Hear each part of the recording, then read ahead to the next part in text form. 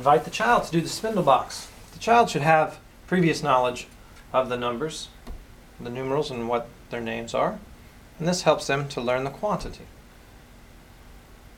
Once again, we have a left to right orientation. One. One. Two. One. Two. Three. One. Two. Three. Four. One, two, three, four. I always invite the children to count into their other hand so they can feel the amount getting larger by one each time. Five. One, two, three, four, five.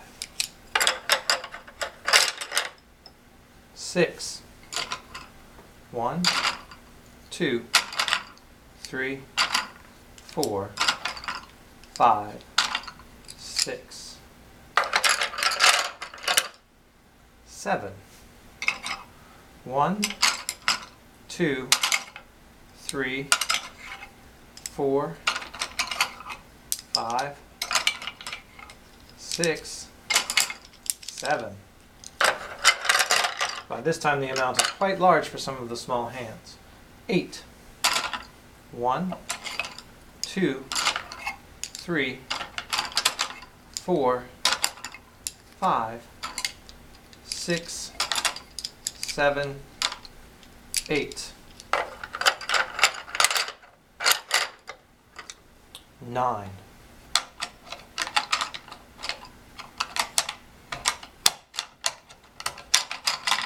One, two, three, four, five, six, seven, eight, nine.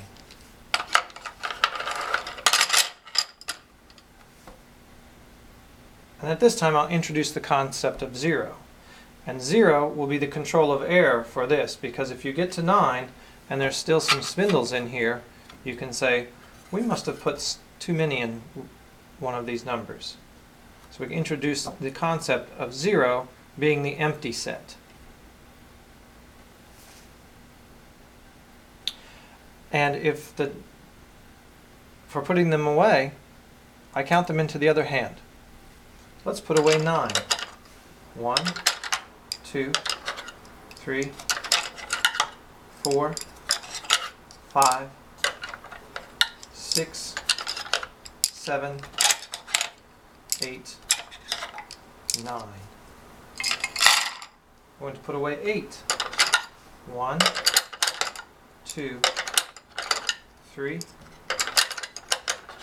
four, five, six, seven, eight. I'm going to put away seven. One, two, three, four, five, six, seven. I'm going to put away six. One, two, three, four, five, six. You can feel the amount getting smaller. I'm going to put away five. One, two, three, four, five. I'm going to put away four. One, two, three, four. I'm going to put away three. One, two, three. I still encourage the children to count this amount into their hand, even though they might be able to grasp them all in one go, because then it's another practice of counting, and they actually feel the amount getting smaller. I'm going to put away two. One, two. Now I'm going to put away one. Sometimes for fun, and the children seem to really get a giggle out of this, I say, now I'm going to put away 0. Or I'll ask them to hand me 0 and say, oh, thank you, very quickly. Could you hand me 0? Thank you.